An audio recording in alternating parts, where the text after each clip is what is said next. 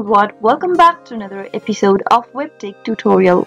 Today I'm going to be guiding you through how to log into your Crypto.com account. Crypto.com is a cryptocurrency exchange company based in Singapore. It has more than 250 coins and serves as a marketplace for non-fungible tokens. To log in and access your account, you'll need to first open up a web browser. In the web address bar, type in crypto.com and press enter on your keyboard. From the main homepage of crypto.com, scroll all the way down until you see this interface. Click on the trade button right next to any cryptocurrency and then click on go to exchange. You'll end up in the sign up page page for Crypto.com exchange. To create a new account if you don't have one, go ahead and fill in the information in the text boxes and click on create account.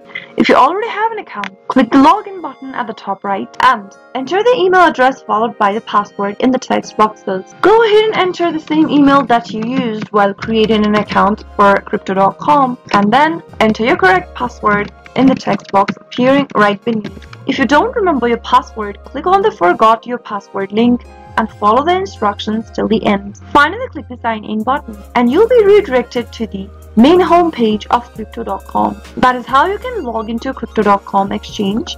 I hope the tutorial was helpful to you. If it was, go ahead and give us a thumbs up. I'll soon be back with more videos like this. Thank you for watching.